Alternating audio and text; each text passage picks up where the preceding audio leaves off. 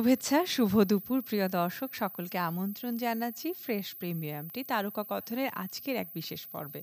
বিশেষ পর্ব এই কারণে, কারণ বাংলাদেশের বিভিন্ন পর্যায়ে রয়েছে, বিভিন্ন খাত রয়েছে। যে খাতে আমাদের দেশের মানুষেরা অবদান রেখে যাচ্ছেন, আমাদের দেশকে, আমাদেরকে সমৃদ্ধ করবার জন্য। সেই খাতগুলোর মধ্যে এক অন্যতম খাত হচ্ছে কৃষি খাত। এবং কৃষি নিয়ে আপনারা জানেন, চ্যানেল আয়ের পর্দায় নানান রকম অনুষ্ঠান রয়েছে। কৃষি উদ্যোক্তাদের নিয়ে রয়েছে, হৃদয় মাটিও মানুষ, হৃদয় মাটিও মানুষের ডাক এবং সেই অনুষ্ঠানগুলোতে আপনারা জানেন, ছাদ কৃষি, আঙিনা কৃষি, সেটি দেশের মাটিতে হোক কিংবা বিদেশের মাটিতে। তাই নিয়ে কিন্তু নানান রকমের আয়োজন। এই আয়োজনগুলো যেমনি করে হয়ে যাচ্ছে, তার মধ্য থেকে একটু উৎসাহ বাড়ানোর জন্য, একটু অনুপ্রাণিত করবার জন্য এবং উদাহরণ হিসেবে সকলকে সামনে তুলে ধরবার জন্য আয়োজন করা হয় কৃষি পদক।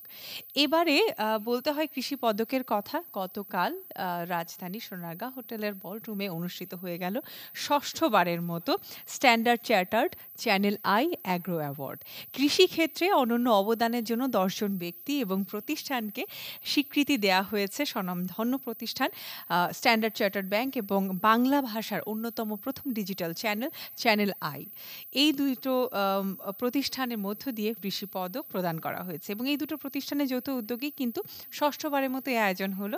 যারা কৃষি পদক পেয়েছেন, সম্মাননা পেয়েছেন, তারকা কথনে আমন্ত্রণ জানিয়েছি তাদেরকে। তাদের সকলের কাছ থেকে একটু একটু করে অনুভূতি শুনব এবং অনুভূতি জানব। আজকের তারকারা সব কৃষি তারকা। পরিচয়ের আনুষ্ঠানিকতা সারছি। প্রথমেই রয়েছেন আমাদের আজকের এই আয়োজনে। ও তার আগে একটুখানি বলে নেওয়া ভালো যে এই যে কৃষি পদক দেয়া এত সহজও কিন্তু নয় এই পথ চলাটা। কেননা বিচার কার্য বলে একটা খুব গুরুত্বপূর্ণ বিষয় কিন্তু রয়েছে, আপনারা সকলে জানেন। অনেক অনেক আবেদন, অনেক অনেক আবেদনের ভেতর থেকে কিছু সংখ্যক মানুষ এবং প্রতিষ্ঠানকে সম্মাননা জানানো পদক প্রদান করা এবং যার গুরুত্বপূর্ণ দায়িত্বে সভাপতিত্ব করেছেন জনাব শাইক সিরাজ, কৃষি ব্যক্তিত্ব, কৃষি এবং গণমাধ্যম ব্যক্তিত্ব। আমরা প্রথমে পরিচয়ের এবার আনুষ্ঠানিকতা যাচ্ছি। জুরি স্পেশালে রয়েছেন কোহিনুর কামাল। আমন্ত্রণ জানাচ্ছি আপনাকে। এরপরে রয়েছেন পরিবর্তনের নায়ক এরশাদ মাহমুদ। কৃষি পদকে সেরা সাংবাদিকতায় পুরস্কৃত হয়েছেন মোহাম্মদ আমিরুল ইসলাম হিরু। তার পাশেই কৃষি প্রতিষ্ঠানের জন্য যে প্রতিষ্ঠানটি সেরা কৃষি প্রতিষ্ঠান হিসেবে পুরস্কৃত হয়েছে সৈয়দ আরিফুজ্জামান আরবান নির্বাহী পরিচালক সেরা কৃষি প্রতিষ্ঠান, কৃষি সহায়তা ও বাস্তবায়ন। প্রতিষ্ঠানের নির্বাহী পরিচালক আমন্ত্রণ আপনাকে জানাচ্ছি আমাদের এই অনুষ্ঠানে। এরপরে রয়েছেন সেরা কৃষক পুরুষ মোহাম্মদ শাখাওয়াত হোসেন। রয়েছেন শাহিদা বেগম, সেরা কৃষক নারী। এরপরে আরও একটি প্রতিষ্ঠানের প্রসঙ্গে চলে যেতে হচ্ছে, সেটি হচ্ছে জনতা ইঞ্জিনিয়ারিং সেরা কৃষি প্রতিষ্ঠান, কৃষি গবেষণা এবং উদ্ভাবন ও প্রযুক্তিতে শতাধিকারী মোহাম্মদ ওয়ালিউল্লাহ তিনি রয়েছেন আমাদের আজকের আয়োজনে। এবারে রয়েছেন, এবারে এবারে রয়েছেন লিডার্স সেরা দুর্যোগ সহায়তা, সেরা কমিউনিটিতে নির্বাহী পরিচালক হিসেবে আমন্ত্রণ জানিয়েছি মোহন কুমার মণ্ডল। আপনাদের সকলকে প্রথমেই চ্যানেল আই পরিবারের পক্ষ থেকে অভিনন্দন, শুভেচ্ছা এবং সেই সাথে আমন্ত্রণ আজকের তারকা কথনে। একটু একটু করে আমরা তাদের সকল কাছ থেকে কথা শুনবার আগে গতকালকে যে আয়োজনটি হয়ে গেছে, বর্ণাঢ্য আয়োজন, তার খানিকটা অংশ পর্দায় দেখে নেব। রাজধানীর প্যান প্যাসিফিক সোনারগাঁওয়ে শুক্রবার সন্ধ্যায় জমকালো আয়োজন। আয়োজনের মধ্যমণি তৃণমূলের সফল কৃষক কৃষি বিজ্ঞানী, কৃষি উদ্যোক্তা, উন্নয়ন সাংবাদিক এবং কৃষি যন্ত্রপাতি নির্মাতা প্রতিষ্ঠান ও সংগঠক। নীতি নির্ধারণী পর্যায়ের দুই অতিথি কৃষিমন্ত্রী ডক্টর আব্দুর রাজ্জাক এবং পরিকল্পনা মন্ত্রী এম এ মান্নান। অনুষ্ঠানে শুরু করবার আগে প্রখ্যাত কথা সাহিত্যিক রাবেয়া খাতুন তার প্রতি শ্রদ্ধা জানাতে এক মিনিট দাঁড়িয়ে নিরবতা পালন করব।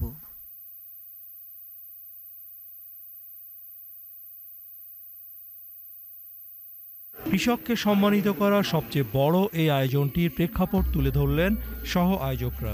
বছর বছর ধরে যাদের সৃজনশীলতা ও কঠোর পরিশ্রম দিয়ে কৃষি খাতে নিয়ে আসছে অর্থপূর্ণ পরিবর্তন তাদের স্বীকৃতি দেওয়াই আমাদের এই আয়োজনের মেইন প্রধান লক্ষ্য।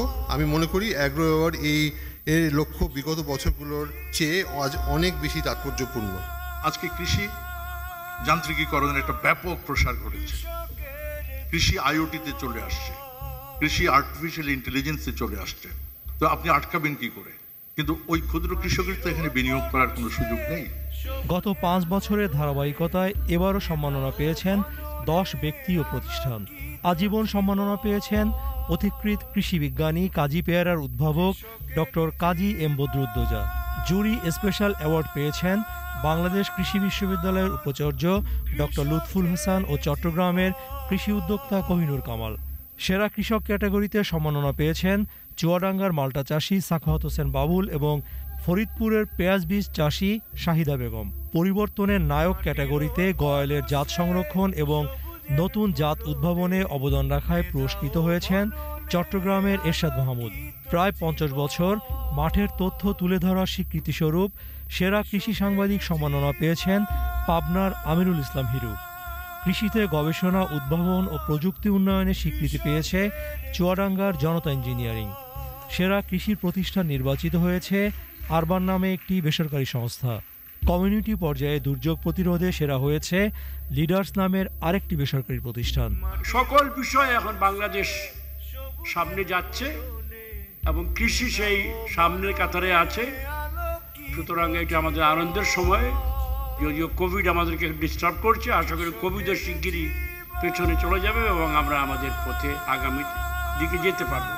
আমরা দশজনকে পুরস্কৃত করেছি, কিন্তু আমি মনে করি লক্ষ লক্ষ চাষিরা এর থেকে উদ্বুদ্ধ হবে, উজ্জীবিত হবে এবং তারা নতুন নতুন বিষয় নিয়ে কাজ করবে এবং সফলতা আনার জন্য চেষ্টা করবে।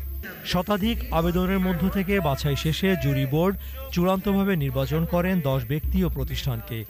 মাটির পরশে সবুজের ফলনে মেধা ও মননে আলোকিত জীবন। অভিনন্দন আরও একবার এবং দারুণভাবে উল্লেখযোগ্য এই আহ, আজীবন সম্মাননা যে ক্যাটাগরি আমরা চ্যানেল আই পরিবার অভিনন্দন জানাচ্ছি। ডক্টর কাজী এম বদরুদ্দোজা আপনাকে এবং সেই সাথে জুরি স্পেশাল হিসেবে তো সম্মাননা পেয়েছেন দুজন। কোহিনুর কামাল এখানে উপস্থিত রয়েছেন এবং আরও একজন উপস- উপস্থিত হতে পারেননি। আমরা অভিনন্দন পাঠিয়ে দিচ্ছি তাকে। প্রফেসর ডক্টর লুৎফুল হাসান, সম্মানিত উপাচার্য, ময়মনসিংহ কৃষি বিশ্ববিদ্যালয়। তিনিও জুরি স্পেশাল ক্যাটাগরিতে পুরস্কার পেয়েছেন। যৌথভাবে এনারা দুজন পুরস্কার পেয়েছেন। আমি প্রথমে অনুভূতির প্রসঙ্গে যেতে চাই। কোহিনুর কামাল, আপনাকে দিয়ে শুরু করি। ছোট ছোট করে সবার কাছ থেকে অনুভূতির কথা জানতে চাইব। জি। ধন্যবাদ চ্যানেল আই এবং স্ট্যান্ডার্ড চার্টার ব্যাংকে। আমাদের মতো চাষিরা যারা আমার প্রত্যন্ত অঞ্চলে চা, মাঠে ঘাটে কাজ করি, তাদেরকে উঠিয়ে এনে এভাবে সম্মানিত করার জন্য। আমি সত্যি খুব আবেগ আপ্লুত। আমি এর আগেও অনেকগুলো অ্যাওয়ার্ড পেয়েছি সরকারি তরফ থেকে। কিন্তু এই অ্যাওয়ার্ডটা আমাকে খুব বেশি অনুপ্রাণিত করেছে। যেহেতু আমি মাছ নিয়ে খুব কাজ করি আমি মাছের ক্ষেত্রেই পুরস্কারটা পেয়েছি। আমি মাছ নিয়ে একটা কথা বলতে চাই সেটা হলো যে আসলে আমরা যারা মাছ চাষ করি দেশে কিন্তু মিঠা পানির মাছ উৎপাদনে বাংলাদেশ কিন্তু পৃথিবীতে চতুর্থ স্থানে আছে। তো যারা মাছ চাষ করে সাধারণত কৃষি জমিকেই কিন্তু মাছ চাষের আওতায় এনে আমরা পুকুর কেটে মাছ চাষ করি। এতে কিন্তু দেশের কৃষি জমি কমে যাচ্ছে। তা আমাদের দেশে অনেকগুলো কিন্তু নদীমাতৃক দেশ অনেক চর আছে অনেক প্রত্যন্ত জমি পড়ে আছে। এগুলি যদি সরকার আমাদেরকে ইপিজেড যেমন করে দিয়েছে সেগুলো মৎস্য জোন করে দেয় এবং সেখানে সব ধরনের ফ্যাসিলিটিস থাকে।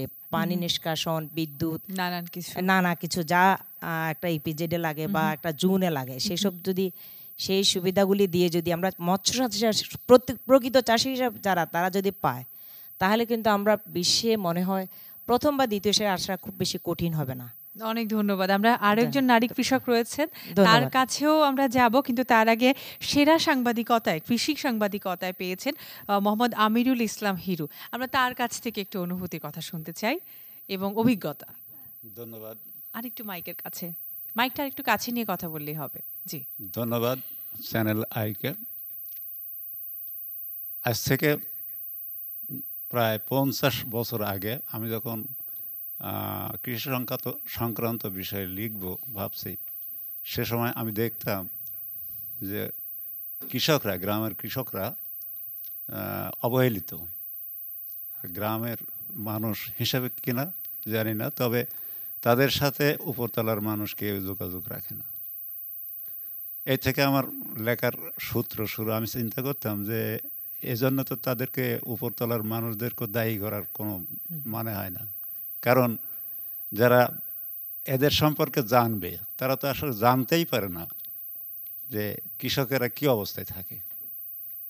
সেজন্য আমি মনে মনে চিন্তা করলাম যে আমি নিচের থেকে মানে কৃষকদের হাল হকিকতের কথা যদি আমি তুলে ধরি তাহলে উপরের মানুষ অর্থাৎ শহরে যারা বাস করেন তারা জানবেন। তবেই তো তারা তাদের উপরে নজর দেবেন এবং এই কাজের উপরেই এই- কাজের উপরে খুশি হবেন ভালো লাগছে আপনার? জি অনেক খুব ভালো লাগছে। মানে কি আবার আজকে আমি অনেক খুশি আর কি যে আমার লেখালেখির কারণে আজ গ্রামের মানুষ কত সুখী। বাহ তারা আপনার আমার আপনার খুশি দেখে আমাদের অনেক খুশি লাগছে। খুব ভালো লাগে আমরা আমরা আবার আসব নিশ্চয়ই আপনার কাছে জি, জি। সময় যদি থাকে। আমরা এবারে সেটা কৃষি প্রতিষ্ঠান আহ, জনতা ইঞ্জিনিয়ারিং তার স্বত্বাধিকার আহ, মোহাম্মদ অলিউল্লাহ। তার কাছ থেকে জানতে চাইব তার অভিজ্ঞতা এবং অনুভূতি দুটোই একটু একটু করে। ধন্যবাদ চ্যানেল আইকে যে আমাদের মতো লোকাল জেলা চুয়াডাঙ্গা থেকে একটা জনতা ইঞ্জিনিয়ারিং নামে প্রতিষ্ঠানকে স্বীকৃতি দেওয়ার জন্য কৃষি পদক যেটা জাতীয় পর্যায়ের একটা পুরস্কার। আমি দুই হাজার পনেরো সালে সিটি অ্যাওয়ার্ড পাইছি দুই হাজার উনিশ সালে এসএমই ফাউন্ডেশন অ্যাওয়ার্ড দিয়েছে। কিন্তু সেই অ্যাওয়ার্ডের চাইতে এই অ্যাওয়ার্ড আমার কাছে অনেক আনন্দের মনে হয়েছে। একই কারণে যে এটা একটা মিডিয়া প্রতিষ্ঠান থেকে এই অ্যাওয়ার্ডটা আসছে। তা আমার এই প্রতিষ্ঠানে সহযোগিতা করে বাংলাদেশ কৃষি গবেষণা ইনস্টিটিউট ইঞ্জিনিয়ারিং সহযোগিতা করে বাংলাদেশ ধান গবেষণা ইনস্টিটিউট সহযোগিতা করে ইউএস এইড থেকে সিমিট আইডিয়া আমাদেরকে সহযোগিতা করে, যেটা আমরা এগ্রিকালচার মেশিনারিজ ডেভেলপমেন্টে আমাদের উপযুক্ত কোনো বিজ্ঞানী না থাকার কারণে ওনাদের বিজ্ঞানীরা আমাদেরকে সহযোগিতা করে। তাই সেজন্য আমার একটা ইচ্ছা যে আমাদের দেশে যে বড় জনগোষ্ঠী রয়ে গেছে, যে জনগোষ্ঠী বেকার, যুবক জনগোষ্ঠী রয়ে গেছে, এদেরকে আমাদের মতো কর্মক্ষম করার জন্য আমরা চেষ্টা করতেছি। আমাদের এখানে একটা technical practical tech training centre তৈরি করছি যেটাতে এখন আমরা অল্প পরিসরে কিছু লোককে ট্রেনিং করাইতেছি। সেই যে শিক্ষিত বেকার যুবকদেরকে আমরা ওখানে প্র্যাকটিক্যালি ট্রেনিং করে তারা যাতে আমাদের মতো উদ্যোক্তা হয়ে দেশের জন্য কাজ করতে পারে। অ্যাকচুয়ালি আমরা যে মেশিনগুলো নিয়ে কাজ করতেছি, এটা বেশিরভাগ আমদানি নির্ভরশীল, বিদেশ থেকে আমদানি করতে হয়। তো এখানে যদি আমরা আমাদের দেশের চাহিদা পূরণ করার জন্য মেশিনগুলো পরিপূর্ণভাবে তৈরি করতে পারি, সেজন্য আমি চ্যানেল আইয়ের মাধ্যমে সরকারের কাছে অনুরোধ জানাব যে কৃষি যান্ত্রিকীকরণ প্রকল্প হাতে নিয়েছে। যে প্রকল্পের মাধ্যমে কৃষকের সক্ষমতা না থাকার কারণে ভর্তুকির মাধ্যমে মেশিন সরবরাহ করা হয়। ঠিক এই ধরনের একটা প্রকল্প কৃষি যন্ত্রপাতি তৈরি করার জন্য একটা প্রকল্প হাতে নেবে যে তৈরি করার ক্ষেত্রে সক্ষমতা তৈরি হবে এবং আমাদের দেশের বৃহৎ জনগোষ্ঠী এখানে একটা কর্মযোগ্য ব্যবস্থা হবে। নিশ্চয়ই। ধন্যবাদ। আবার আসতে চাই আমরা এই ট্রেনিং নিয়ে জানতে চাইব। তার আগে দর্শকের কাছে বলতে চাই যে কৃষি এবং গণমাধ্যম ব্যক্তিত্ব পরিচালক ও বার্তা প্রধান চ্যানেল আই জনাব শাইক সিরাজ তার এই যে দীর্ঘ সময়ের একটি প্রচেষ্টা হৃদয় মাটিও মানুষ আমরা এই সম্পর্কে সকলেই জানি, হৃদয় মাটিও মানুষের ডাক। এই নিয়ে যে অনুষ্ঠানটি, এর মধ্য দিয়ে কিন্তু আমাদের কৃষক, কৃষি প্রতিষ্ঠান, কৃষি গবেষণা কেন্দ্র নানানভাবে কাজগুলো করছেন এবং সে কাজগুলোকে এগিয়ে নিয়ে যাওয়ার একটা প্রয়াস রাখছেন। তারই যদি একটা ফল হিসাবে যদি বলি বা একটা স্বপ্নের বাস্তবায়ন যদি বলি, তারই ডালপালা শাখা প্রশাখা হিসেবে এই কৃষি অ্যাওয়ার্ডের আজকে যে আমাদের কৃষকেরা রয়েছেন এখানে তারা। আমি এবারে শাহিদা বেগম, সেরা কৃষক নারী তার কাছ থেকে কথা শুনতে চাই। কেমন লাগছে আপনার? আলহামদুলিল্লাহ। আসসালামু আলাইকুম। ধন্যবাদ চ্যানেল আই। আমাকে এই অ্যাওয়ার্ডের মাধ্যমে এখানে আমন্ত্রিত করার জন্য। আমি একজন কিষানী নারী। আমার পেঁয়াজের বীজ উৎপাদন করি এবং আমি দুই হাজার চার থেকে দুই হাজার চার থেকে আমি এই পর্যন্ত এখন দুই হাজার বিশ একুশ সাল আজ পনেরো বছর আমি এই বীজে আছি। আমি দুই মন বীজের থেকে দুইশো মন বীজে আসছি এবং এর মধ্যে আমার স্বামী কৃষি পরিবারের সন্তান তার হাত ধরে আমার এ পর্যন্ত ওঠা এবং সেই আমাকে সব কিছু শিখাইছে যে আমি পারছি এবং আমার সাহস ছিল যে আমি পারব। এবং আমি একজন নারী উদ্যোক্তা বলছি যে একজন পুরুষ আর নারীর কোনো ভেদ নাই। এখানে চেষ্টা করলে ইচ্ছা থাকলে সাহস থাকলে অবশ্যই সবাই আগায় যেতে পারে। কোথা থেকে এসেছে আমি ফরিদপুর থেকে আসছি। অম্বিকাপুরে আমার বাড়ি। ধন্যবাদ। আমরা আমরা একটা কাজ এখানে নিশ্চয়ই করতে পারি। দর্শক তো টেলিভিশনের পর্দায় দেখছেন এবং ফেসবুক যে ভ্যারিফাইড চ্যানেল রয়েছে চ্যানেল আই টিভির সেখানে কিন্তু দেখছেন স- সকলেই। So, বাংলাদেশ এবং বাংলাদেশের বাইরে পৃথিবীর বিভিন্ন প্রান্তে সকল বাংলাদেশে কিন্তু দেখছেন এই অনুষ্ঠান। তারা ওই পার থেকে হাততালি দিচ্ছেন। আমরা এই জায়গা থেকে সকলে মিলে আমাদের নিজেদের জন্য একটা হাততালি করতালি দিতে পারি। আমাদেরকে অভিনন্দন জানিয়ে। একটা উষ্ণ করতালি সকলের জন্য। অসংখ্য ধন্যবাদ। আপনাদের এই ছোট থেকে বড় হয়ে ওঠার গল্পটা শুনতে কিন্তু দারুণ লাগছে, সত্যি। এবারে মোহাম্মদ সাখাওয়াত হোসেন, সেরা কৃষক পুরুষ, তার কাছ থেকে আমরা একটু কথা শুনতে চাই। মাইক্রোফোনটা একটু পাস করে দেবেন। আসসালামু আলাইকুম।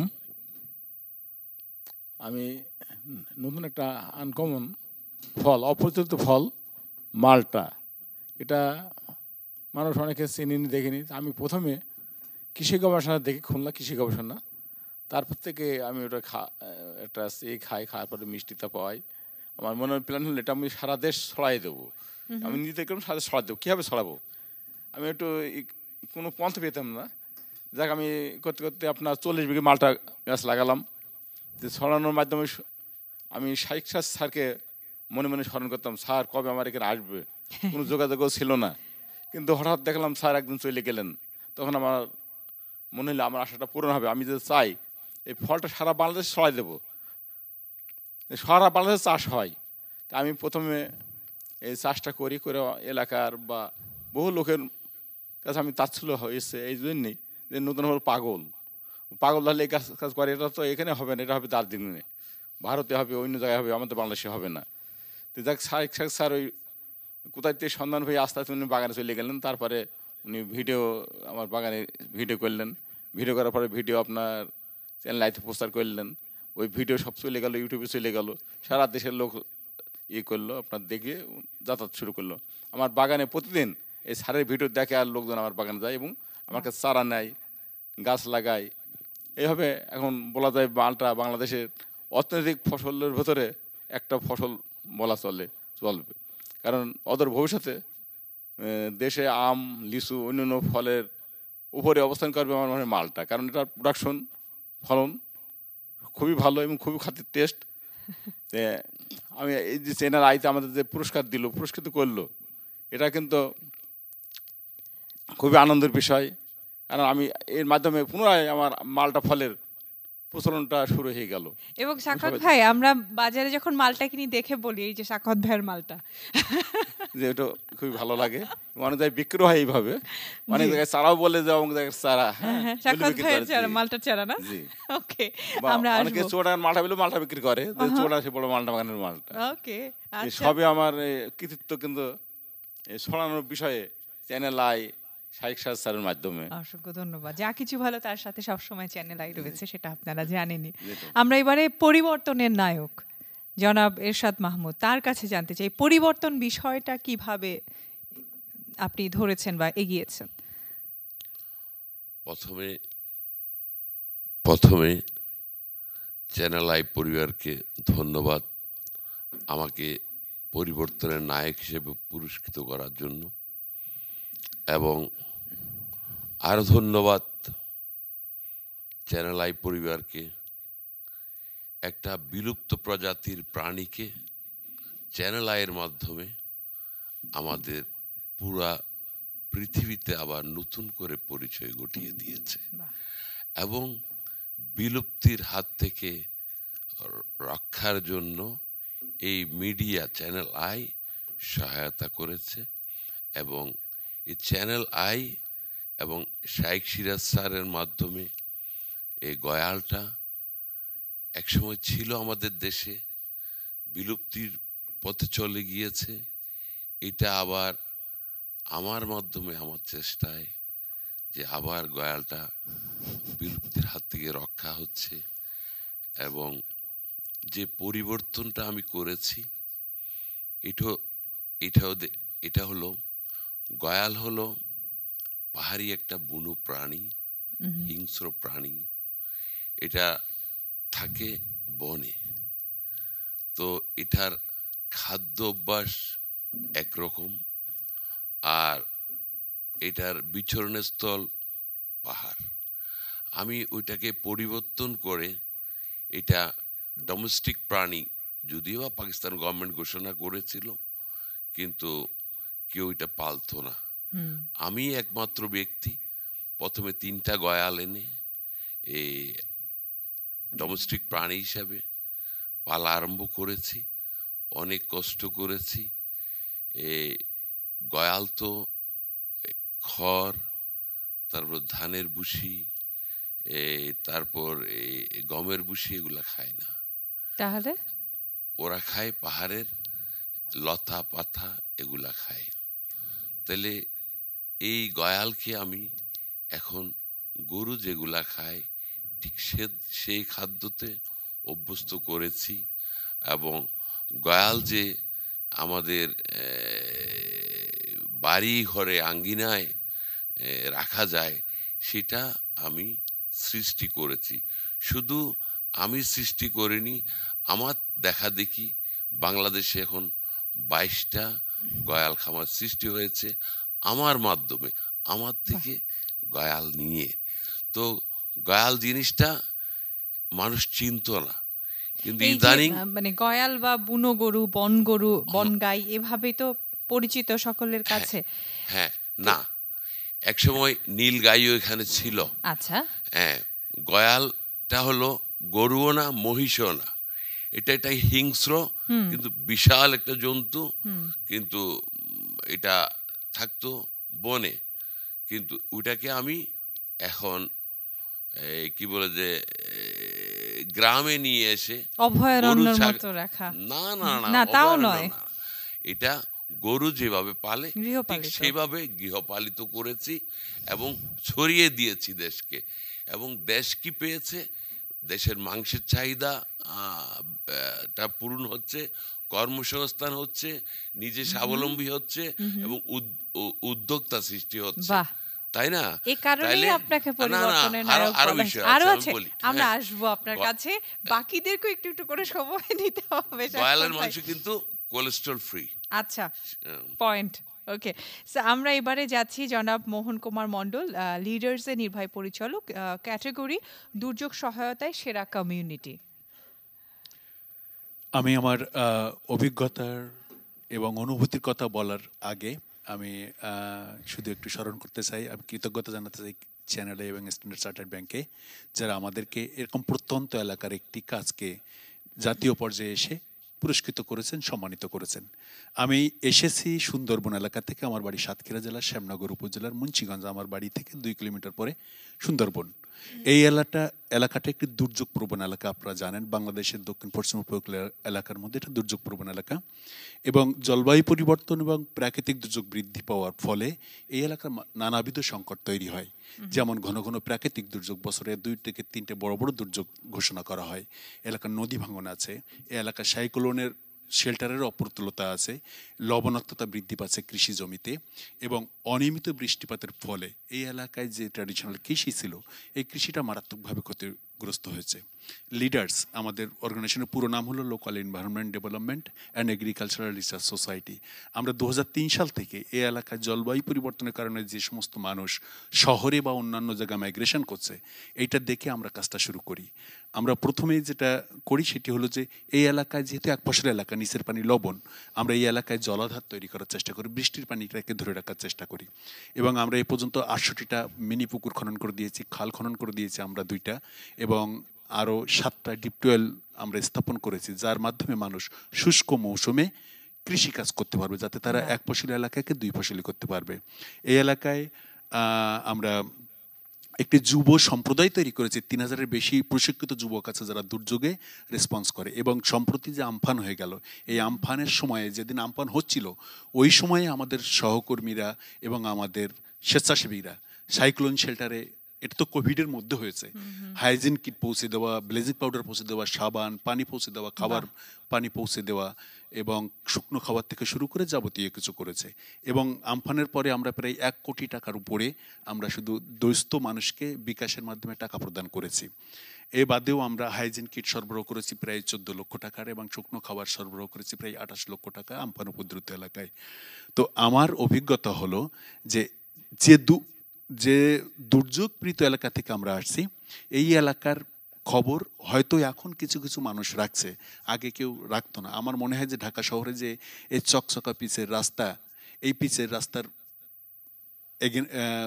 পেছনে। পেছনে ওই এলাকার চিংড়ি খামার ব্যাপকভাবে সহযোগিতা করেছে। কিন্তু চিংড়ি লোনা পানির চিংড়ি চাষের কারণে যে মানুষগুলো কৃষি থেকে উৎখাত হয়েছে, খাবার পানির সংকট তৈরি হয়েছে, তারা, তাদের সংকট কিন্তু নিরসন হয়নি। আমরা সরকারের পাশাপাশি এনজিও হিসেবে আমরা এটা চেষ্টা করে যাচ্ছি।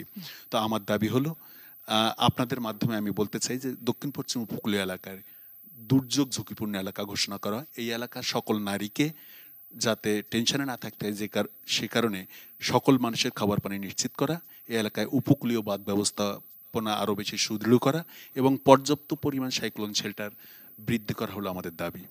আমি আপনাদের মাধ্যমে ধন্যবাদ। ধন্যবাদ। এবারে সেরা কৃষি প্রতিষ্ঠান কৃষি সহায়তা ও বাস্তবায়নে আরবান তার নির্বাহী পরিচালক সৈয়দ আরিফুজ্জামান তার কাছে আমরা যাচ্ছি।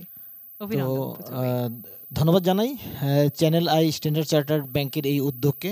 Activity for reformation of basic needs urban নামের সংগঠনকে এই পর্যায়ে স্বীকৃতি দেওয়ার জন্য।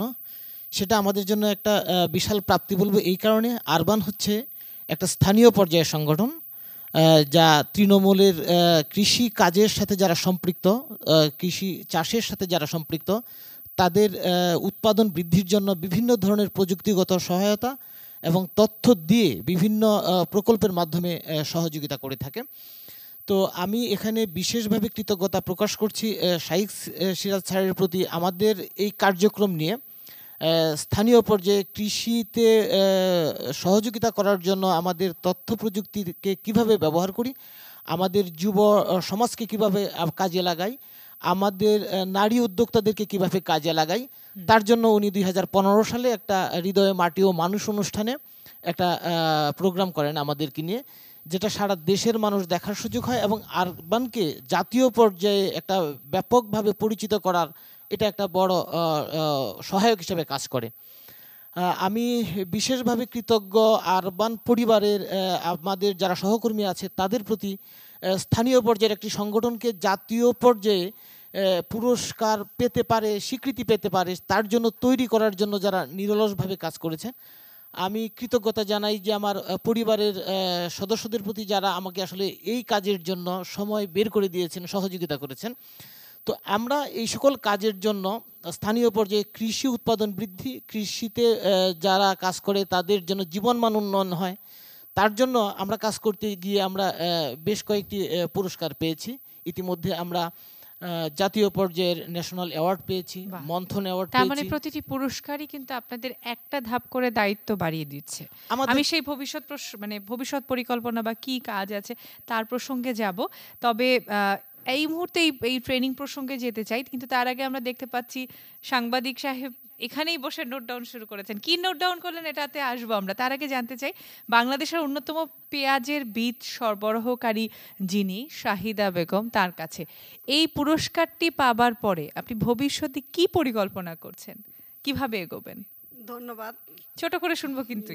ধন্যবাদ। আমাকে চ্যানেল আই এবং কৃষি সম্প্রসারণ বিএডিসি এবং শাইক সিরাজ স্যার কৃষির বন্ধু সে আমাকে উৎসাহ দিয়েছে এবং এখানে স্ট্যান্ডার্ড চার্টার ব্যাংকের মাধ্যমে আমাকে যে পুরস্কার করেছে আমি হাজার হাজারবার ধন্যবাদ এবং কৃতজ্ঞতা জানাই আন্তরিকভাবে ধন্যবাদ। আমি এখানে আসার জন্য সবাই সামনে কি পরিকল্পনা আছে আমি পেঁয়াজের বীজ বা পেঁয়াজের কিছু বীজ আমার স্বপ্নটা আমি বাংলাদেশের চাহিদা পূরণ করতে চাই। এবং বাংলাদেশে আমার এই বীজ ভালো বীজে ভালো ফসল এটা আমি ছড়িয়ে দিতে চাই। এবং বা সারা বাংলাদেশ থেকে আমাদের বীজ নেয় ভালো বীজ। এবং আমি বাংলাদেশকে সহায়- স্বয়ংসম্পন্ন করতে চাই বীজের দিক থেকে এবং আমি একটা কোল্ড স্টোরের আবদার করেছি। আমার কৃষি মন- মন্ত্রীর কাছে যে আমাদের দেশে একশো ভাগ পেঁয়াজের মধ্যে তিরিশ ভাগ পেঁয়াজ নষ্ট হয়ে যায়। কৃষকরা ক্ষতিগ্রস্ত হয়ে যায় সময় মতো বীজ রোপণ করতে পারে না পচে যায়।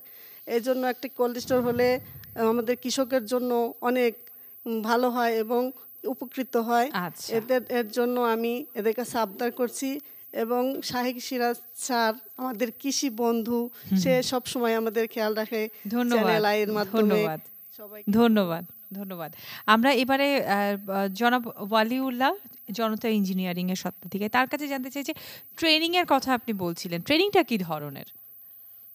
অ্যাকচুয়ালি উদ্যোক্তা হিসাবে আমি যেখানে আজকে দাঁড়ায় আছি বা আপনারা আমাকে যেখানে দাঁড় করাই দিয়েছেন, এখন আমাকে কিছু দায়বদ্ধতার মধ্যে চলে আসছে আমি, যেটা আমার কাছে মনে হয় আমি এখন দেশের কাছে বা দেশের মানুষের কাছে দায়বদ্ধ। সেজন্য আমি যদি একেবারে লোকাল অজপরাগায়ের কর্মসূত্র ধরে রিজিকের সন্ধানে কাজ করতে করতে যদি আমি জাতীয় পর্যায়ের পরিচয় আসি, আমার দেশে এখন শিক্ষিত বেকার যুবক বহু আছে। বাংলাদেশ সরকার চিন্তা করছে আগামী দুই বছরের মধ্যেই দুই কোটি মানুষের কর্মসংস্থান করা। সেক্ষেত্রে আমি চিন্তা করছি যে আমি যে কাজ করি, আমার যে পেশা, এই পেশাতে আমরা অনেক লোককে কাজে লাগাতে পারি। কেননা আমরা যে মেশিনগুলো কৃষকে ব্যবহার করে, এই ব্যবহার করা মেশিনের বেশিরভাগ যন্ত্র বিদেশ থেকে আমদানি করে আনতে হয়। তো এখানে আমদানি করার একটা বিশাল অংশ টাকা বাইরে পাঠাতে হয়। আমরা যদি আমাদের যে দেশের জনগোষ্ঠীকে কাজে লাগাই যন্ত্র, দেশের চাহিদা অনুযায়ী যন্ত্র তৈরি করতে পারি, তাহলে একদিকে যেমন আমাদের বিদেশ থেকে আমদানি করতে হবে না পাশাপাশি আমার দেশের লোকের কর্মসংস্থান তৈরি হবে যন্ত্র তৈরি করতে যে।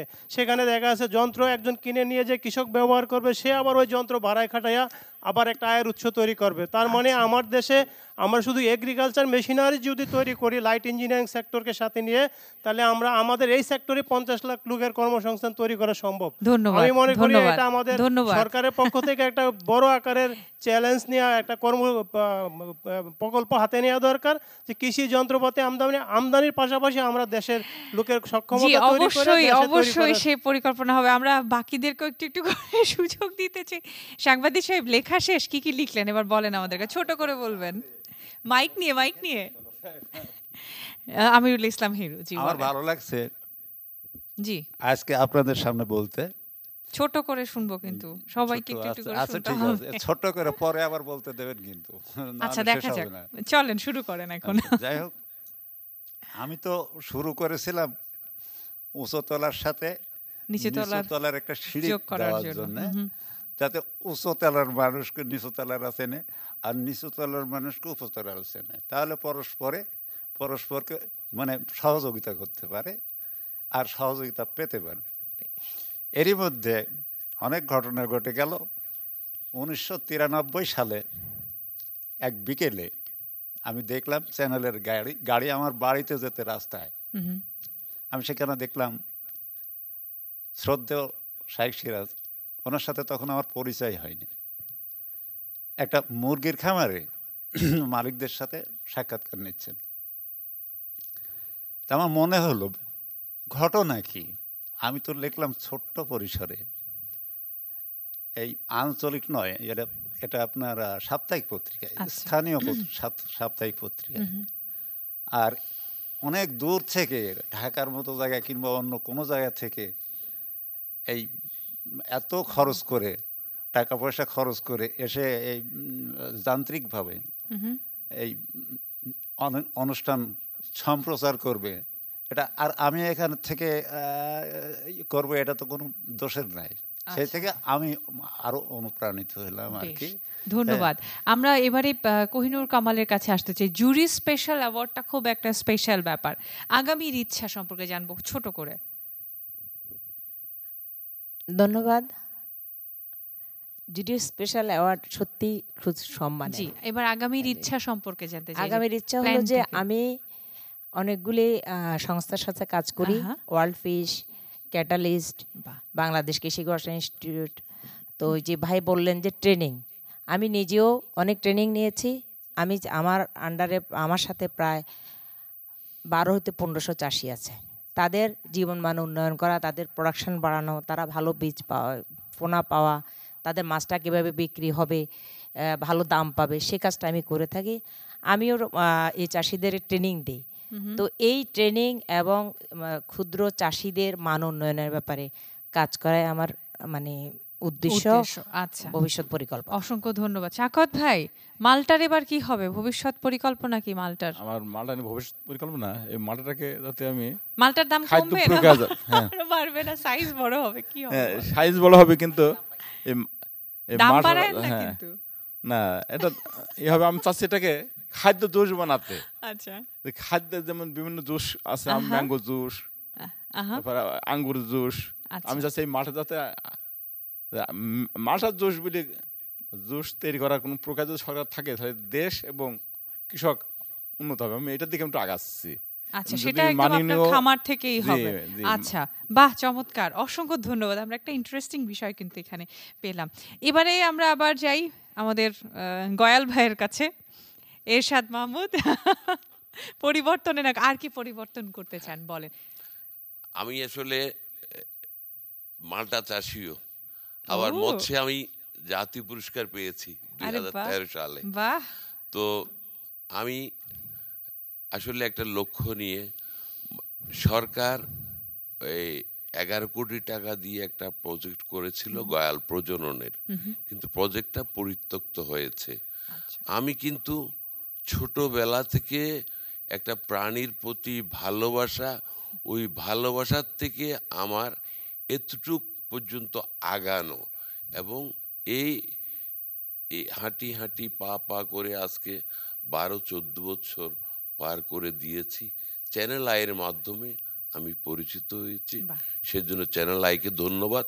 কিন্তু আম- আমাদের একটা দাবি হলো সরকার যেখানে গয়ালের জন্য অনেক টাকা খরচ করেছে, সেই হিসেবে আমার ওখানে আমরা যে ব্যক্তিগত উদ্যোগে গয়ালকে পুরো বাংলাদেশে ছড়িয়ে দিয়েছি, ভ্যাকসিন এবং বিভিন্ন ধরনের চিকিৎসা, যেটা গরুর জন্য এক ধরনের চিকিৎসা, গয়ালের জন্য এক ধরনের চিকিৎসা। আমি চ্যানেল আয়ের মাধ্যমে সরকারের কাছে সংশ্লিষ্ট মন্ত্রণালয়ের কাছে দাবি জানাচ্ছি আমাকে যাতে ওনারা এই ভ্যাকসিন এবং চিকিৎসা ক্ষেত্রে সহায়তা করে এবং গয়ালকে আরও ছড়িয়ে দেয় অসংখ্য ধন্যবাদ ধন্যবাদ। আমরা একেবারে শেষের দিকে চলে এসেছি। কথা মানে শুরু করেছি আমরা শেষ তো আসলে হবার নয়। স্বপ্ন তো অনেক বড় থাকে অনেক দূর যাবার থাকে। সেই স্বপ্ন একটু একটু করে করেই পূরণ করতে হয় একটু একটু করে শেষ করতে হয় একটু একটু করে এগিয়ে যেতে হয়। সেখান থেকে দায়িত্ব হন দায়িত্বপ্রাপ্ত হন সকলে এবং সেই দায়িত্ব থেকে অনুপ্রাণিত হয়েই কিন্তু আরও মানুষ এগিয়ে আসেন আরও এগিয়ে আসেন সকলে। আমরা আরেকবার আরবানের কাছে আসতে চাই। সৈয়দ আরিফুজ্জামান তার কাছে আসতে চাই। ছোট করে শুনব পরবর্তী পরিকল্পনা। ওই দিকটাতে, ওই কর্নারে হ্যাঁ। ধন্যবাদ আবার সুযোগ দেওয়ার জন্য। আমরা আসলে পরিবর্তনগুলো এভাবে করতে চাই যে আমি শুরুতেই বলেছি, স্থানীয় পর্যায়ের কৃষকরা অনেক দিন যাবতই তারা ট্রেডিশনাল চাষের সাথে সম্পৃক্ত। তাদেরকে প্রয়োজনীয় তথ্য এবং উপকরণগত সহায়তা দিয়ে কীভাবে আধুনিক প্রযুক্তির সাথে সম্পৃক্ত করে তার জীবনমান উন্নয়ন করা যায় তার চাষের উৎপাদন বৃদ্ধি করা যায়। তার জন্য আমরা অংশীজন যারা আছে কৃষক বিভিন্ন সেবা প্রদ- প্রদানকারী প্রতিষ্ঠান যারা প্রশিক্ষণ প্রদান করে সেই সকল প্রতিষ্ঠান যারা অর্থ সহায়তা করে সেই সকল প্রতিষ্ঠানের সাথে কীভাবে কার্যকর একটা লিঙ্ক স্থাপন করতে পারি তার জন্য আরবান কীভাবে কাজ করতে পারে যেন একটা স্থায়িত্বশীল সমৃদ্ধ কৃষি ব্যবস্থা আমাদের দেশে প্রতিষ্ঠিত হয়। তার জন্য আরবান যেন স্থানীয় কৃষকদের সাথে প্রান্তিক কৃষকদের সাথে কাজ করতে পারে, তার জন্য আমাদের প্রচেষ্টা আমরা অব্যাহত রেখেছি। আমরা সেই লিঙ্কগুলা সাথে যুক্ত করছি সকলকে। আমরা চেষ্টা করছি যেন কৃষকরা স্থায়ীভাবে তাদের জীবনমান উন্নয়নে সহযোগী হিসেবে এই কৃষি উৎপাদনকে কাজে লাগাতে পারে। এটাই আমাদের লক্ষ্য। অসংখ্য ধন্যবাদ। আমরা লিডার্সের কাছে আসতে চাই দুর্যোগ সহায়তায় সেরা কমিউনিটি হিসেবে। দুর্যোগ ছাড়াও যদি বলি ও যখন পরিবেশ স্বাভাবিক থাকছে সেই সময়ের আগাম কোনো প্রিকশন বা ওই সময়ের কার্যকর কার্যকারিতাগুলো কি কি? নর্মালি আমাদের আমরা সবসময় বলি যে মানুষকে দুর্যোগ আসতে পারে দুর্যোগ সবসময় থাকে না কিন্তু মাঝে মাঝে আসে। দুর্যোগ প্রস্তুতিটাকে বাড়ানো দরকার মানুষের এবং বিশেষ করে জলবায়ু পরিবর্তনের সাথে যে সমস্ত দুর্যোগ যেমন লবণাক্ততা বৃদ্ধি অথবা হিটওয়েভ বৃদ্ধি অথবা আমাদের যে সিজনাল চেঞ্জগুলো হচ্ছে এগুলো যেহেতু কোনোটা লম্বা হচ্ছে বা কোনোটা ছোট হচ্ছে তো সেই পরিস্থিতির সাথে খাপ খাইয়ে চলার জন্যে মানুষকে পরিবর্তিত জীবন কৌশল সম্পর্কে মানুষকে দক্ষ হওয়া দরকার। আমরা বলি রেজিলিয়েন্ট লাইভলিহুড অথবা রেজিলিয়েন্ট এগ্রিকালচার আমাদের একটি পরিকল্পনা রয়েছে, যেটি হলো আমরা স্ট্রেস টলারেন্স সিড যেটা সরকার বলেছেন যে সাতষট্টি, এই বীজ কালকে কৃষিমন্ত্রী মহোদয় বলেছেন। কিন্তু এই বীজ কিন্তু আমরা বিএডিসির কাছে চেয়েও পাইনি। আমরা চেয়েছি একটা কমিউনিটি লেভেল সিড স্টোর তৈরি করতে এবং সেই সাথে আমরা চল্লিশটা বীজ বাড়ি তৈরি করেছি যারা কমিউনিটি সিড স্টোরে তারা তাদের বছরব্যাপী বীজটা সংরক্ষণ করতে পারে। আমরা আরেকটি আমাদের পরিকল্পনা আছে, আমরা উপকূলীয় এলাকায় বিভিন্ন কৌশল ক্লাইমেট চেঞ্জের সাথে টিকে থাকে, এরকম কৃষি কৌশল আমরা প্রদর্শন করেছি। আমাদের একটি ছোট টেকনোলজি পার্ক আছে। এটা আমরা একটা পূর্ণাঙ্গ টেকনোলজি পার্ক করতে চাই, যেখানে কৃষি সংক্রান্ত যাবতীয় কৌশল উপকূলীয় এলাকার জন্য প্রদর্শন করা হবে এবং মানুষ ওইখানে এসে শিখতে পারবে যে কী ধরনের কৌশল তার জীবন জীবিকার জন্য সে দরকার এবং সেটা তার বাড়িতে করতে পারবে। এবং আমরা আরেকটা করেছি যে উপকূলীয় এলাকা পানি ব্যবস্থাপনা করার জন্য বিরাট ধরনের জলাধার তৈরি করা দরকার। যেমন পৃথিবীর বিভিন্ন দেশে আছে কিন্তু আমাদের দেশে জলাধার তৈরি করা তো হয়ই না বরং আমরা যে সমস্ত খালগুলো আছে এগুলো আমরা ইজেরা দিয়ে ফেলি। তো এইগুলো ইজেরা মুক্ত করে এবং বড় ধরনের জলাধার তৈরি যদি করতে পারে সরকার তাহলে এই এলাকার মানুষ যারা জীবিকার সন্ধানে দেশের বাইরে বা অন্যান্য জায়গায় চলে যাচ্ছে তারা কিন্তু আর যাবে না। তো আমরা চাই আপনাদেরকে কৃতজ্ঞতা জানাতে আমাদেরকে এখানে আনার জন্যে এবং আমরা চাই যদি সরকার, সরকারের সংশ্লিষ্ট মন্ত্রণালয় উপকূলীয় এলাকার দিকে একটু বেশি নজর দেন, তাহলে মানুষ সংকট থেকে উত্তরণ পাবে। ধন্যবাদ। অসংখ্য ধন্যবাদ। আমরা চ্যানেলাই পরিবার আবারও আপনাদের সকলকে অনেক অনেক ধন্যবাদ জানাতে চাই এবং অভিনন্দন, শুভকামনা জানাতে চাই। আমরা শেষের দিকে চলে এসেছি। এই শেষের দিকে চলে আসার আগেও আমরা আরেকবার ভাবছি কার কাছে যাব, কারণ সবারই অনেক কিছু বলবার রয়েছে। এরশাদ মাহমুদের কাছেই যাই কি বলেন? আমাদের প্রিয় গয়াল ভাই পরিবর্তনের নায়ক। গয়াল ভাই বললে আমার খারাপ লাগে না। ভালো লাগে না? আমাদেরও কিন্তু সত্যি ভালো লাগে আমার ভালো লাগে। কারণ গয়াল একটা জাত যেটা যাকে আপনি পোষ মানিয়েছেন কি বলেন? বিশাল ব্যাপার। খাদ্য অভ্যাসে পরিবর্তন করেছি এবং চারণভূমি পরিবর্তন করেছি এবং একসময় এই গয়ালটাকে চিনত না মানুষ। মানে অবাধ্য বাচ্চাকে একেবারে শাসনে হ্যাঁ। বাধ্যগত আনা। তারপর এটাকে ছড়িয়ে দিয়েছি পুরা দেশে। একসময় গয়াল বলতো কোথায় পাওয়া যায়? যেমন কোথায়? বান্দরবনের উপরে বার্মা বর্ডারে।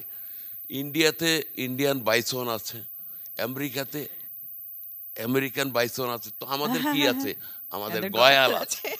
তো গয়াল এটা বিলুপ্তি হয়ে গিয়েছিল। আমি বিলুপ্তির হাত থেকে রক্ষা করছি। এবং চ্যানেল আয়ের মাধ্যমে আমি সরকারকে কাছে অনুরোধ হলো আমাকে সহযোগিতা করা। এবং সবার কাছে অনুরোধ হলো এটা গরুর মতো আপনারা পালতে পারবেন এবং আমার থেকে নিতে পারবেন সহজ মূল্যে সহজ সত্ত্বে আমি আপনাদেরকে সরবরাহ করব।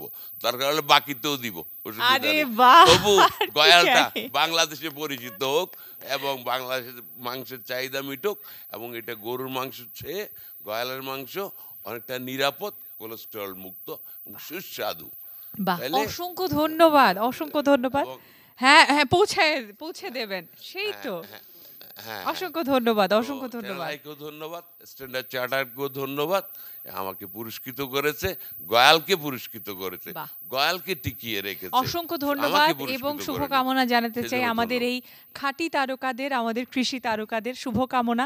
আমাদের গ্রামের তারকা আমাদের মাটির তারকা, আমাদের কৃষি তারকাদেরকে। প্রিয় দর্শক, অনেক অনেক অভিজ্ঞতা, অনেক স্বপ্নের কথা বললাম। আবার একই সাথে সাথে কিন্তু এই যে সুযোগের কথাগুলো বলছেন আমাদের এই কৃষি তারকারা, সেই সুযোগগুলোকেও কিন্তু আমরা কাজে লাগাতে পারি। এখন একটা উদ্যোক্তা হয়ে ওঠার একটা প্রবণতা সবার মধ্যে, নিজে কিছু একটা করবার প্রবণতা কিন্তু আমাদের সকলের মধ্যে বরাবরের মতো ছিল। এখন আরও বেশি সেই প্রবণতা বেড়েছে। সেই জায়গাতে এই সুযোগগুলো নেওয়াটাও কিন্তু ভীষণ একটা কাজের হতে পারে। প্রিয় দর্শক, একেবারে বিদায় নিচ্ছি। শেষের দিকে চলে আসি। চ্যানেল আই সব সময় চ্যানেল আই এবং স্ট্যান্ডার্ড চার্টার ব্যাংক সব সময় কিন্তু ছিল এই কৃষি তারকাদের সাথে, কৃষি তারকাদেরকে অনুপ্রেরণা নিয়ে দিয়ে এগিয়ে যাওয়ার জন্য। বিদায় নিতে হচ্ছে এই মুহূর্তে। সময় শেষের দিকে চলে এসেছি। ভালো থাকবেন। আমাদের সাথে থাকবেন।